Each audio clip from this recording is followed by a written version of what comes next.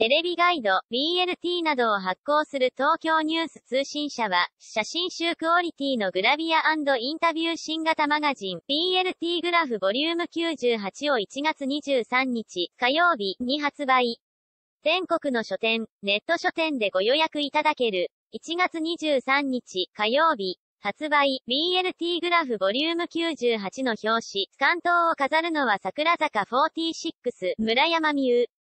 村山にとって自身初ソロ表紙となる、個性豊かな桜坂463期生の中でもひときわ異彩を放っており、高身長でクールビューティーなビジュアルとは裏腹に冠番組、そこ曲がったら、桜坂、テレビ東京ではどこか不思議かつ天然な言動で魅力を発揮している村山。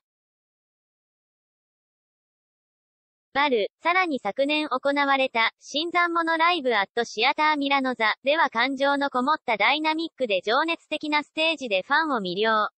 1月15日、月曜日、16、火曜日、に豊スピットで、1月22日、月曜日、23、火曜日、にゼップダイバーシティ、東京で開催される桜坂46、セブンスシングルバックスライブにも出演し、そのパフォーマンスに期待が高まる村山を美術館や海沿いのホテルで撮影。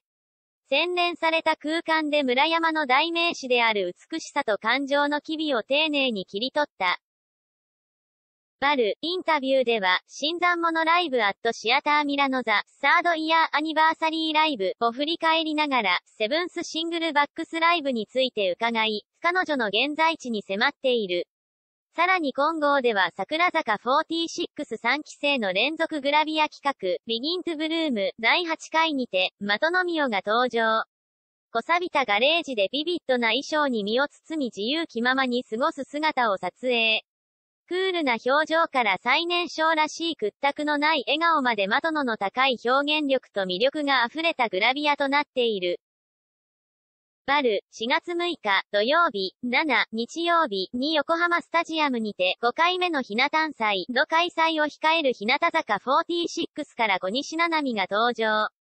ライトブルーの風に揺れる様が美しいワンピースや、ホワイトのブラウスにデニムパンツなどシンプルな衣装で、最近ますます洗練されてきているビジュアルの美しさを最大限に見せる。乃木坂46公式ライバルグループとして誕生し、1月31日、ミズにセカンドシングル、卒業までをリリースする僕が見たかった青空から吉本この名が初登場。〇〇、レトロな映画館や趣のある商店街で親近感を感じられるような等身大の姿やどことなく儚い美しさを収めた。4月28日、日曜日、より瀬戸内7県を回る7周年ツアーがスタートする STU48 から吉田沙羅が BLT グラフ、初登場。今回は、瀬戸内純愛物語をイメージし、横島、広島県福山市の心安らぐ民宿や自然豊かなロケーションで撮影。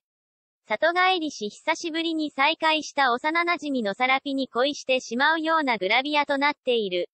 インタビューでは、これまでの人生における出会いについて語ってくれている。バル、6人組アイドルグループシャルロットのメンバーで、ミスマガジン2023で読者特別賞に選ばれた一ノ瀬ルナが登場。日常をテーマにした撮影で食事やお絵描きをする間に見えた一ノ瀬の飾らナイスの姿を捉えた。さらに2月2日、金曜日に発売される女優、加藤小夏のファースト写真集より BLT グラフでしか見られない新規カットをお届けする。ザ・ポスト桜坂46、村山美優が、BLT グラフボリューム98にて雑誌初ソロ表紙を飾るファーストアッペアドオン WWS チャンネル。